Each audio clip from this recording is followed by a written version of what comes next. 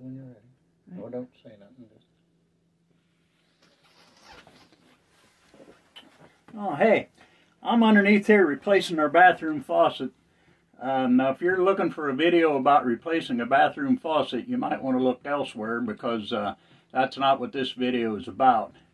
This is more about why you should be able to replace a faucet or do numerous other things around the house or even around the RV in this case. I used to watch a TV show called Red Green Show, and Red Green always had a motto where he said, if the women can't find you handsome, they should at least find you handy. Now, you guys out there, you know, you know who I'm talking to.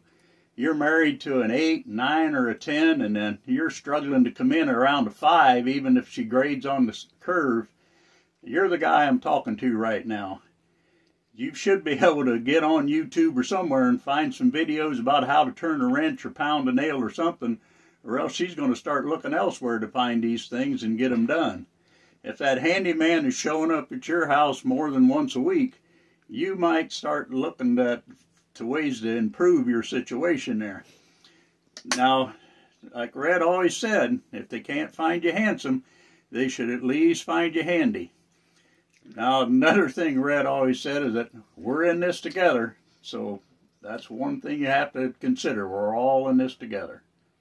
Well, this is Dave from uh, Escaping Normal RV. Well, I better get back at this.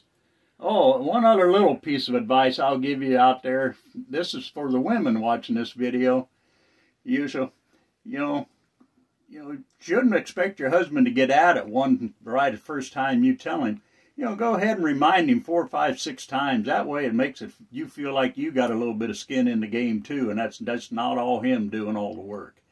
Well, like I said before, this is Dave. We'll be talking to you later.